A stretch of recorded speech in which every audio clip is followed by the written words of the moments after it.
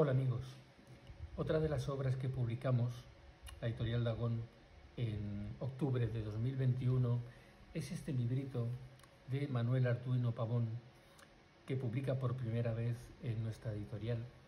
Espero que haya más colaboraciones donde elige un tema muy interesante propio de, la autoayuda, de libros de psicología, de la superación personal pero enfocado desde el punto de vista esotérico. Es decir, toma en cuenta las leyes del karma, los señores del dharma, del karma, del destino, cuenta eh, el tema de la reencarnación, de lo que nos viene de otras vidas pasadas, cómo todo eso nos afecta en nuestra vida presente y cómo reaccionar ante eso, o sea, las dificultades son el karma que nos ha, que nos ha tocado, que nosotros mismos hemos construido. Ante eso podemos reaccionar de diferentes maneras. ¿no? Entonces Él nos da la forma más eh, esotérica, pedagógica y además eficaz para vencer todo aquello que, por eso dice que las oportunidades nos buscan, los desafíos nos encuentran. Los desafíos son oportunidades que tenemos precisamente para crecer.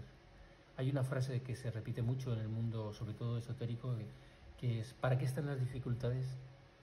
Para vencerlas.